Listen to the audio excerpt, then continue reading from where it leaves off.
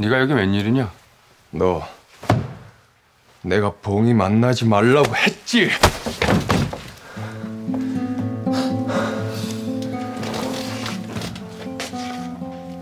네가 뭔데 만나라 마라 하는 거냐?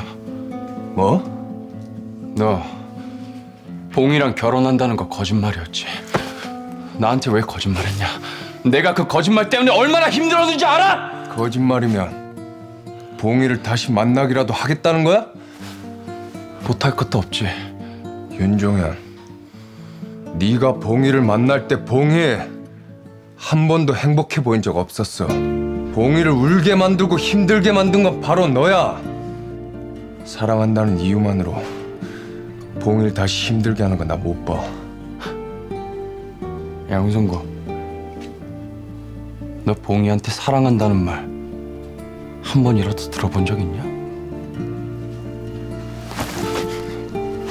너 이 새끼 다신 사랑 노름 따위 생각도 못하게 만들어줄게. 각오해. 넌 내가 가만 안 둘 테니까.